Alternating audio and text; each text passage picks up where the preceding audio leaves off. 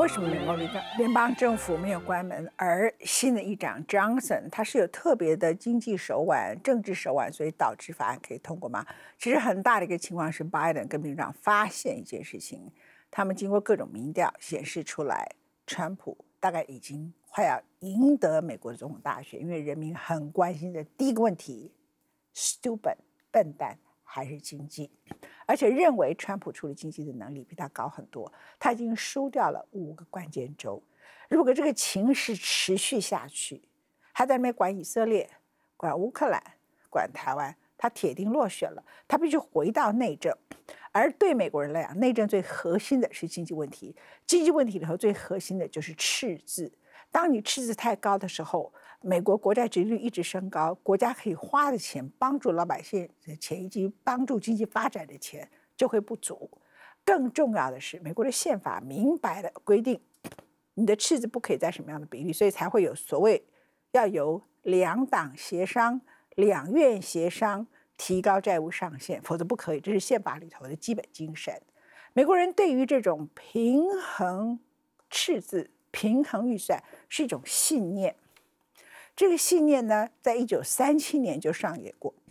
当时小罗斯福他某个部分把大萧条控制住，没有解决，但控制住了。他选连任根本没有对手，嗯，共和党派不出对手，他是民主党的，可是共和党却赢得了国会，只用一个口号：平衡预算。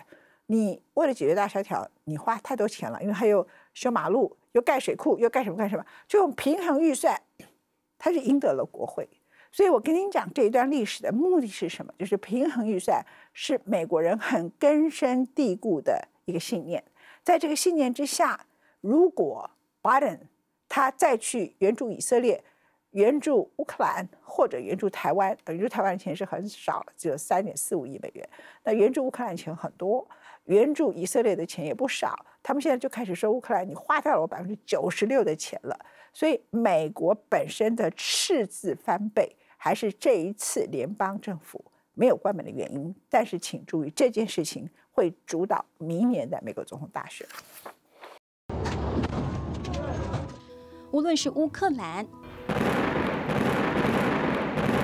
还是以色列。当美国向自己在欧洲与中东两大盟友拍胸脯保证，美国绝对有能力在不妨碍国家经济的前提下，拿出千亿美元政府军事预算，替以乌各自的战争努力添柴加火，以协助抵御外侮时，美国政府听见了自己内部的杂音了吗？It's it's it's a it's a it's a it's a very threatening times. So that is also happening at the same time the United States is probably in its weakest fiscal position since certainly World War II, with debt to GDP at 122%. Paul Tudor Jones, the famed investor, was on CNBC this week and he said, This is the most threatening and challenging geopolitical environment that I've ever seen.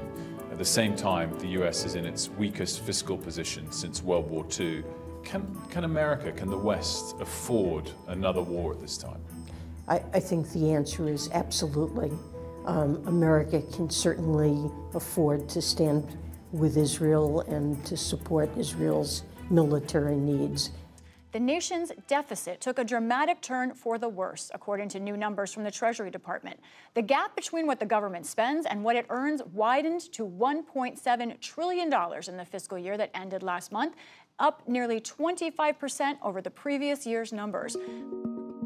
十月二十号，美国财政部公布数字，美国政府预算赤字在九月三十号结束的二零二三财政年度中，相比上一个财年增加三千两百亿美元，来到近一点七兆美金。官方数据公布后，纽时发表评论：千万别忘了加上学贷减免案。如果不是美国最高法院已将之驳回，否则拜登总统这项计划理当为美国政府开支费用再添上一大笔。因此。精确而论，美国预算赤字其实在一年之内近乎翻了一倍，达到两兆美金。Why did the deficit increase if the U.S. economy is doing so well, as President Biden has said? 白宫记者会上，这道媒体提问正是许多人心中的问号。一国预算赤字之所以数地扩大，太半发生在政府处于对抗经济衰退的工作模式，处在必须拨出预算才有办法刺激国内需求的危急时刻，而鲜少会发生在国家经济成长正是现在进行式之际。美国今年第二季 GDP 尽管在八月底被下修，由百分之二点四调降至百分之二点一，但全美经济成长的步伐其实相当稳健，薪资水平依然处于高点下，推升消费者支出的势头还在持续。事实上，美国联邦赤字增加来自两大原因：一是政府税收整体下降；二是利率环境骤变上升，联准会存款大幅减少所致。而白宫上下。正齐心把政府赤字增加的祸首归咎给在上述两大成因之一的推手——民主党二零二四美国总统大选最可能敌人川普。When it comes to reducing deficit, let's compare the records. Under my predecessor, you remember the self-professed king of debt? Well, it turned out he was. He's actually the emperor of debt. He created more debt than any other president did in one year. This is what we believe is Maganomics deficit. If you think about the Republican tax cuts, they are responsible for about 90% of the increase in the debt as a share of the economy, and, uh, and that's including that one-time uh, emergency spending.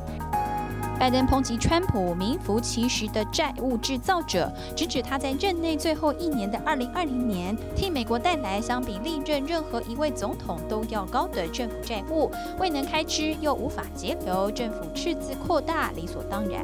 白宫发言人尚皮也接棒，若不是共和党历来主张替商界减税，国库理当丰盈饱满才是。然而，川普令政府债务激增，替美国财政创下赤字纪录3.1兆美金。的那一年，正是新冠疫情大流行，政府必须通过金额盛大的紧急纾困案来拯救国家形同平静无波的消费曲线。And we can protect our economy because I think our economy will come back very rapidly. These will be payments to small businesses. Uh, we've talked about loan guarantees to critical industries such as airlines and hotels. And we've also talked about a stimulus package to the American worker.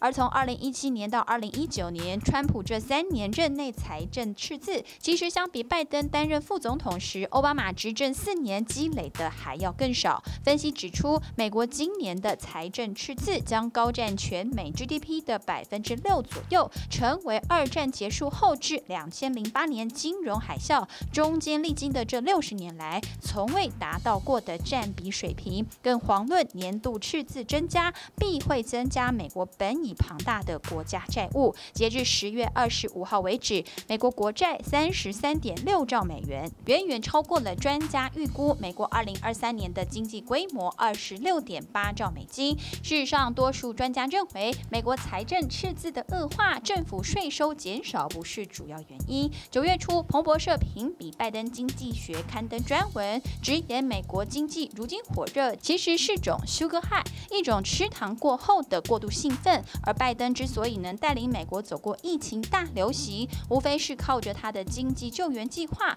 先透过预支政府开支稳定劳动市场，希望从而提高政府税收来降低赤字。而这个计划的前两个部分确实已经打正，全美失业率连续十九个月低于百分之四，六零年代末期至今时间保持最久的一次。去年美国政府税收占比其实创下新高，因此赤字是从何？而来的呢，自然就是通膨吃掉了税收，而通膨又从何而来？答案早呼之欲出，美国的升息循环战。If the economy evolves as projected, the median participant projects that the appropriate level of the federal funds rate will be 5.6% at the end of this year, 5.1% at the end of 2024, and 3.9% at the end of 2025. 尽管全美通膨已从去年百分之九高点回落到上个月百分之三点七，但在联准会表态明年至多降息两码，而非市场预期的四码百分之一之后，美国二零二四利率已确定停留在数十年来新高的五字头大关，升息更高更久。美国用来支撑无上限举债的筹款工具美国公债，势必因为总体环境的升息，其值利率也跟着上升。美国政府即便同时面对超额利率危机和通膨压缩税收的预算赤字危机，也要国会编列特别预算军援两大盟友。这两场意外的战争，皆大幅增加了美国预算赤字，尤其以哈战争。美国折腾了三周，终于选出的众院议长当选后第一件事即是支持以色列，可见犹太人对美国政界的影响力。至于因此付出的代价，债留子孙，那是下一代政客的事。